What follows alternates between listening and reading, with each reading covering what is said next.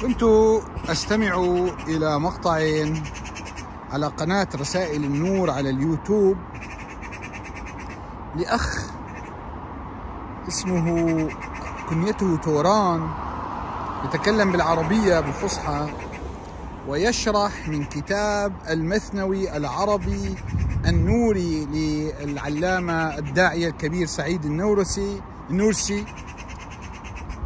آه، فقرة التنزه عن المكان. الصفحة 365 من الكتاب الذي آه، ترجمه إحسان صالحي. فسوف إن شاء الله أنقل كل الأفكار لكن هذه فكرة قال الإنسان من الناحية المادية الإنسان من الناحية المادية يعني أخذناها فقط من ناحية مادية ليس له أي يعني قيمة مادية في الكون. يعني إذا سحبنا الإنسان من الكرة الأرضية إذا سحبنا أي حيوان من الكرة الأرضية فسوف يختل التوازن البيئي.